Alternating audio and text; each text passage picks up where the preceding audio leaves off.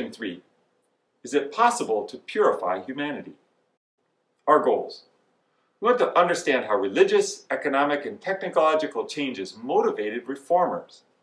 And we'll consider reform efforts such as women's rights, changes to prisons, mental health care, the temperance movements, and educational changes. Our big idea. The spirit of reform brought about by the Second Great Awakening led to movements to prove many areas of life, including temperance, education, women's rights, mental health, and abolition. Let's get started with the introduction. What did it mean to think like an American? Once the colonists had thrown off the burdens and controls of England, the possibilities for political, social, and artistic creativity and experimentation seemed limitless. People felt optimistic and determined that a new order would be brought to bear, not just on government, but on all institutions of social interaction. Opportunity, heightened by political freedom and a surge of nationalism, caused most citizens to believe that the experiment might actually work. Women began to explore the possibility of individual rights and equality with men. Their agenda was quite vast and included not only the right to vote, but also such diverse problems as prohibition and world peace.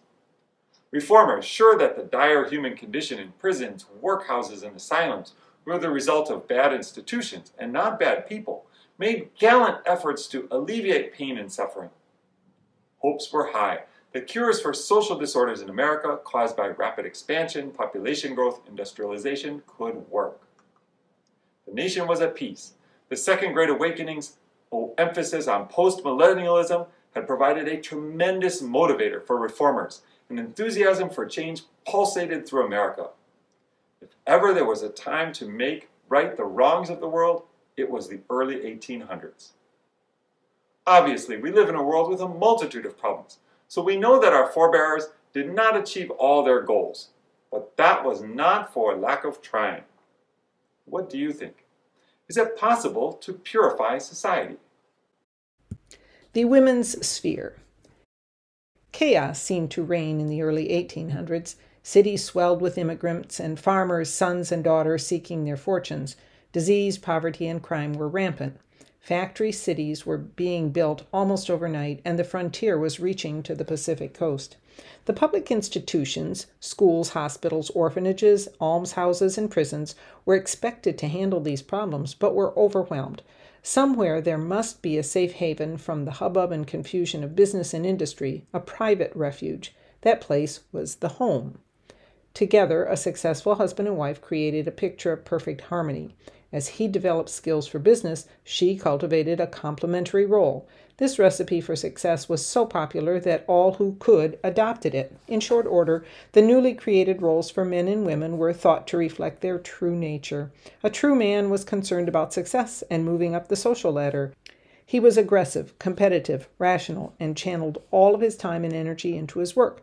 A true woman, on the other hand, was virtuous. Her four chief characteristics were piety, purity, submissiveness, and domesticity. She was the great civilizer who created order in the home in return for her husband's protection, financial security, and social status. Money equaled status, and increased status opened more doors of opportunity for the upwardly mobile. The husband had to be out in the public sphere creating the wealth, but his wife was free to manage the private sphere, the woman's sphere. This idea would later be dubbed by historians the cult of domesticity. Women's virtue was as much a hallmark of Victorian society as materialism. As long as women functioned flawlessly within the domestic sphere and never ventured from it, women were held in reverence by their husbands and general society. However, this was carried to ridiculous extremes. To protect women's purity, certain words could not be spoken in their presence. Undergarments were unmentionables. A leg or an arm was called a limb. Even tables had limbs, and in one especially delicate household, the limbs of a piano were covered in little trousers. The cult of true womanhood was not simply fostered by men. In fact, the promotion of women's sphere was a female obsession as well. Writers like Sarah Hale published magazines that detailed the behaviors of a proper lady. Godey's Lady's Book sold 150,000 copies annually. Catharine Beecher advocated taking women's sphere to the classroom. Women as teachers, she said, could instill the proper moral code into future generations. It was a fragile existence for a woman. One indiscretion, trivial by today's standards, would be her downfall, and there was no place in polite society for a fallen woman. But a fallen woman was not alone. The great majority of women never met the rigorous standard of true womanhood set by the Victorian middle class, nor could they ever hope to. Sojourner Truth drove that point home in 1851. That man over there says that women need to be helped into carriages and lifted over ditches and to have the best place everywhere. Nobody ever helps me into carriages or over mud puddles or gives me any best place. And ain't I a woman? Only white women of European descent, and very few of them, could be true women. For immigrant women, the wives and daughters of farmers, and the women who followed their husbands to the frontier, the necessities of daily life overshadowed the niceties. Nevertheless, the ideal of true womanhood affected every facet of American culture in the 19th century. Women's rights. Although women had many moral obligations and duties in the home, church, and community, they had few political and legal rights in the new republic. When Abigail Adams reminded her husband John during the Constitutional Convention to remember the ladies, her warning went unheeded women were pushed to the sidelines as dependents of men, without the power to bring suit, make contracts, own property, or vote. During the era of the cult of domesticity, a woman was seen merely as a way of enhancing the social status of her husband. By the 1830s and 1840s, however, the climate began to change when a number of bold, outspoken women championed reforms to address such social ills as prostitution, capital punishment, overcrowded prisons, war, alcoholism, and most significantly, slavery. Activists began to question women's subservience to men and called for rallying around the abolitionist movement as a way of calling attention to all human rights. Two influential Southern sisters, Angelina and Sarah Grimke, called for women to participate in the freeing and educating of slaves. Harriet Wilson became the first African American to publish a novel sounding the theme of racism. The heart and voice of the movement, nevertheless, was in New England. Lucretia Mott, an educated Bostonian, was one of the most powerful advocates of reform, who acted as a bridge between the feminist and the abolitionist movements and endured fierce criticism wherever she spoke. Margaret Fuller wrote Women in the Nineteenth Century, the first mature consideration of feminism, and edited the dial for the Transcendental Club. Around 1840, the abolitionist movement was split over the acceptance of female speakers and officers. Ultimately snubbed as a delegate to a World Anti Slavery Convention in London, Elizabeth Cady Stanton returned to America in 1848 and organized the first convention for women's rights in America, the Seneca Falls Convention in New York. Under the leadership of Stanton, Mott, and Susan B. Anthony, the convention demanded improved laws regarding child custody, divorce, and property rights.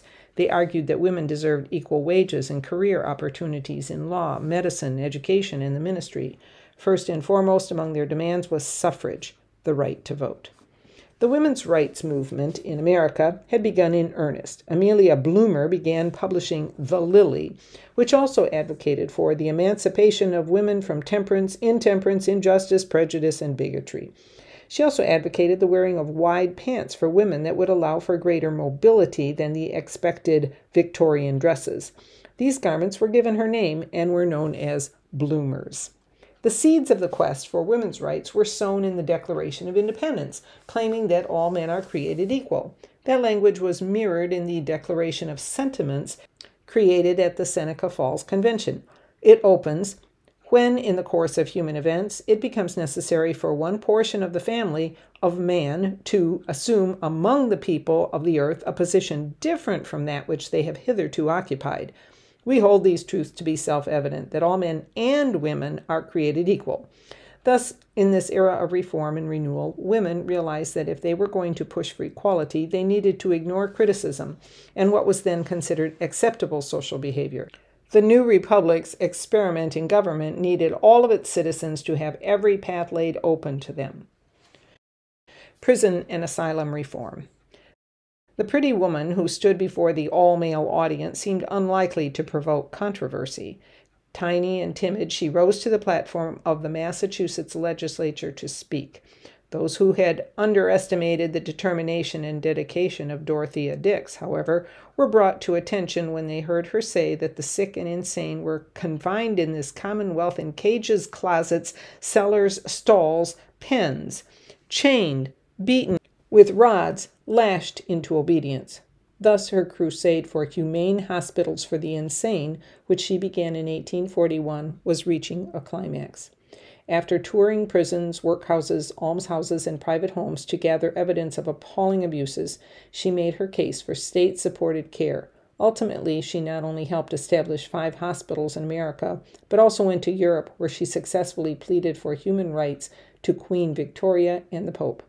In addition to the problems in asylums, prisons were filled to overflowing with everyone who gave offense to a society from committing murder to spitting on the street.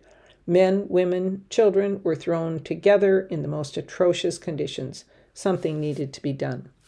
After the War of 1812, reformers from Boston and New York began a crusade to remove children from jails into juvenile detention centers. But the larger controversy continued over the purpose of prison. Was it for punishment or penitence? In 1821, a disaster occurred in Auburn prison that shocked even the governor into pardoning hardened criminals. After being locked down in solitary, many of the 80 men committed suicide or had mental breakdowns. Auburn reverted to a strict disciplinary approach. The champion of discipline and the first national figure in prison reform was Louis Dwight, founder of the Boston Prison Discipline Society. He spread the reformed Auburn system throughout America's jails and added salvation and Sabbath school to further penitence. America enjoyed a brief period of real reform. Idealism, plus hope in the perfectibility of institutions, spurred a new generation of leaders led by the peerless Dorothea Dix. Their goals were prison libraries, basic literacy for Bible reading, reduction of whipping and beating, commutation of sentences, and separation of women, children, and the sick. By 1835, America was considered to have two of the best prisons in the world in Pennsylvania. In an unusual turn of events, reformers from Europe looked to America as a model for building, utilizing, and improving their own systems. Advocates for prisoners believed that deviance could change and that a prison stay could have a positive effect.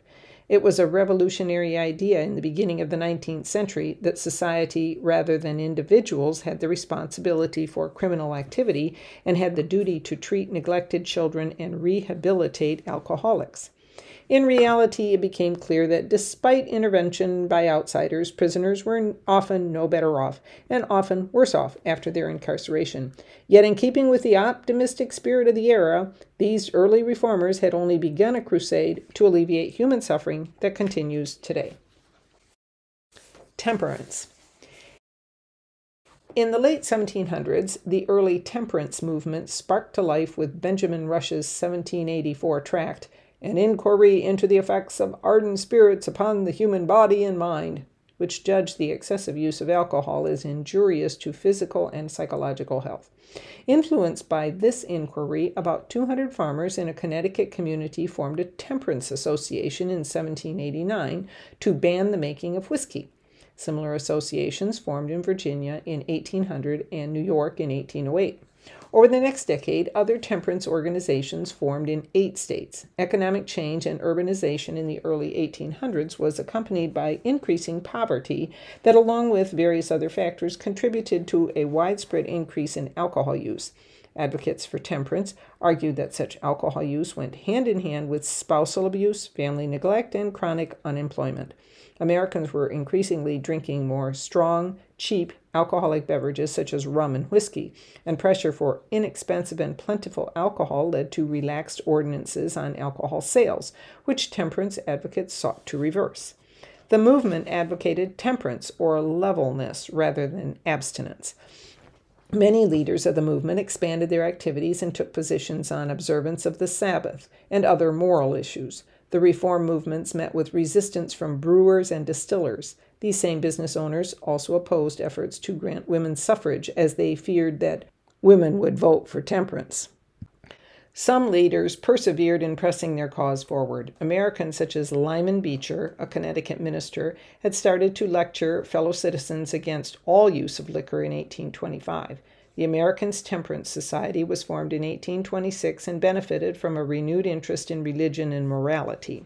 Within 12 years, it claimed more than 8,000 local groups and more than 1,500,000 members. By 1839, 18 temperance journals were being published. Simultaneously, some Protestant and Catholic Church leaders were beginning to promote temperance.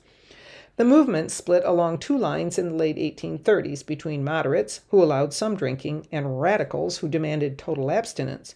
A split was formed between voluntarists, who relied on moral persuasion alone, and prohibitionists, who promoted laws to restrict or ban alcohol. Radicals and prohibitionists dominated many of the largest temperance organizations after the 1830s, and temperance eventually became synonymous with prohibition. One of the most colorful reformers in the temperance movement was Carrie Nation. She described herself as a bulldog running along at the feet of Jesus, barking at what he doesn't like, and claimed a divine ordination to promote temperance by destroying bars sometimes accompanied by hymn singing women, but most often alone, she would march into a bar and sing and pray while smashing bar fixtures and stock with a hatchet. Between 1900 and 1910, she was arrested some 30 times for hatchetations, as she came to call them. Nation paid her jail fines from lecture tour fees and sales of souvenir hatchets. While successful in tapping into a growing enthusiasm for social reform, the American Temperance Society failed to achieve legislative success until well into the next century when alcohol was prohibited with the ratification of the 18th Amendment. Education reform. Education opportunities in the 13 colonies during the 1600s and 1700s varied considerably depending on one's location, race, gender, and social class. Basic education in literacy and arithmetic was widely available, especially to white males residing in the northern and middle colonies, and the literacy rate was relatively high among these people. Educational opportunities were much sparser for women, minorities, and poor whites in the rural South. Education in the United States had long been a local affair, with schools governed by locally elected school boards. Public education was common in New England, where literacy had been prized since the first arrival of the Puritans, although it was often class based, with the working classes receiving few benefits. Instruction and curriculum were all locally determined, and teachers were expected to meet rigorous demands of strict moral behavior. Schools taught religious values and applied Calvinist philosophies of discipline, which included corporal punishment and public humiliation for students found to be lacking. The public education system was less organized in the South. Public schools were rare, and most education took place in the home, with the family acting as instructors. The wealthier planter families were able to bring in tutors for instruction in the classics, but many yeoman farming families had little access to education. The education reform movement began in Massachusetts when Horace Mann started the Common School movement. He is called the father of American public education, arguing that universal public education was the best way to turn the nation's unruly children into disciplined, judicious Republican citizens. Mann won widespread approval from modernizers, especially in his Whig Party, for building public schools. Most states adopted one version or another of the system he established in Massachusetts, especially the program for normal schools to train professional teachers. A common school was a public, often one room school in the United States or Canada in the 1800s. Students often went to the common school from ages 6 to 14, or roughly until what we would call eighth grade. The duration of the school year was often dictated by the agricultural needs of the community, with children on vacation from school when they needed to work on the family farm. Common schools were funded by local taxes, did not charge tuition, and were open to all white children. Mann advocated a statewide curriculum and instituted school financing through local property taxes. Mann also fought protracted battles against the Calvinist influence on discipline, preferring positive reinforcement to physical punishment. Private academies that served students after eighth grade flourished in towns across the country. Change was slow, but by the close of the 1800s, public high schools began to outnumber private ones. However, in rural areas where most people lived, there were few secondary schools before the 1900s. Other reforms included kindergartens introduced by German immigrants, while New England orators sponsored the Lyceum movement that provided open lectures for hundreds of towns and small cities. Mann advocated the Prussian model of schooling, which included the technique separating the schools into levels by age. Students were assigned by age to different grades and progressed through them. Some students progressed with their grade and completed all courses the secondary school had to offer. These students were graduated and awarded a certificate of completion. Colleges also began to change in the mid 1800s. At the onset of the Industrial Revolution, the nation's many small colleges helped young men make the transition from rural farms to complex urban occupations. These colleges prepared ministers and provided towns across the country with a core of community leaders. The more elite colleges became increasingly exclusive and contributed relatively little toward upward social mobility. By concentrating on the offspring of wealthy families, ministers, and a few others, prestigious Eastern colleges, especially Harvard, played an important role in the formation of a Northeastern elite with great power. This began to change with the passage of the Morrill Land Grant Acts, a set of laws signed by President Abraham Lincoln that allowed for the creation of land grant colleges. Under the act, each eligible state received a total of 30,000 acres of federal land for each member of Congress held by the state. This land, or the proceeds from its sale, was to be used for establishing and funding educational institutions. The land grant college system produced the system of public state universities ubiquitous in America today and helped make the United States a world leader in post secondary education. Conclusion Reformers in the early 1800s took up the causes of education, women's rights, prison reform, mental health care, and temperance. They sought out evil, confronted it, and tried to banish it from American life, sometimes even with hatchets. They certainly left their mark. The millions of Americans who have degrees from state universities, or all who simply attended a high school, can thank the reformers of that era. We can scarcely imagine a world in which women cannot vote, students pay for school, the mental ill and convicts alike are housed in decrepit prisons, and alcoholism is commonplace rather than stigmatized. But for all they tried, the pioneering reformers of the first half of the 19th century were not able to purify humanity. We still have dangerous prisons, expensive colleges, high school dropouts, restrictions on voting, homeless alcoholics, and gender inequality. Is the goal of purifying humanity possible? What do you think?